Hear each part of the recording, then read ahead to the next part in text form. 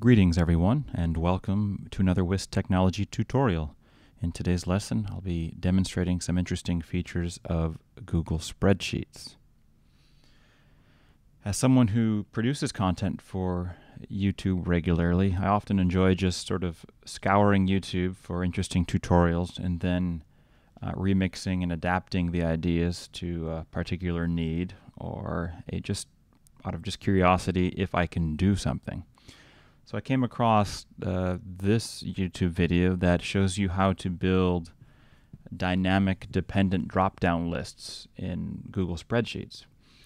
Now this idea is really fascinating to me because it allows you to create drop-downs based on selections in another drop-down in a spreadsheet. So this is a great simulation and I really learned how to do the entire the concept through it. So I wanted to actually apply the concept to a, a practical use case. Uh, and the use case I've, I've come up with here is a travel expense report.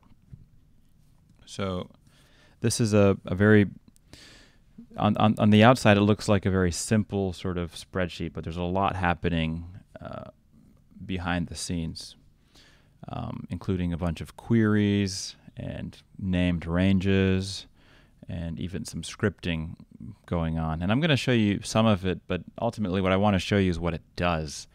Um, so this up here in A3, this department, this is actually a drop-down menu um, where I can choose a list of departments. And based on what I select here, the description changes in this box, okay? And then as a third step, based on what I select here, a VLOOKUP function is actually going to put in the appropriate expense code for that budget category. So again, just to demonstrate, if I am going to pull from the technology department, I can now click down as a description in here. All of these options are related to the uh, technology budget. Okay, so if I pick something else, if I take, for example, instructional expenses, I come back down to the same cell and I click and notice that I have a different selection of, of budget codes to choose from or descriptions.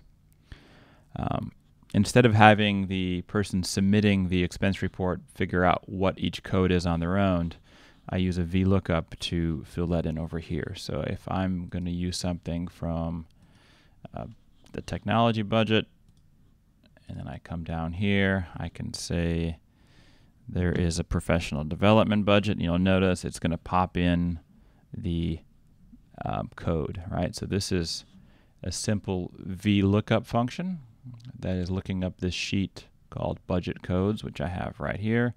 And it's just looking for um, that technology uh, PD uh, description, and then it just pulls the the uh, column or the cell just to the right of that category. So this whole idea is a fascinating concept. Um, you can watch the other tutorial, this one right here, for example of how to build your own. But I just wanted to demonstrate a practical use case uh, for wanting to develop these dynamic drop-down tables. So anyway, that's it. And so it's just a very an interesting use of Google Spreadsheets. And if you're looking for a way to get uh, your business office involved in using um, Google Apps in your school, uh, this is certainly one of the ways in which uh, that you could compel them to uh, use some of the tools provided here in the Google Apps suite, uh, Google Apps for Education suite. Anyway, thanks for watching, and uh, stay tuned for more later.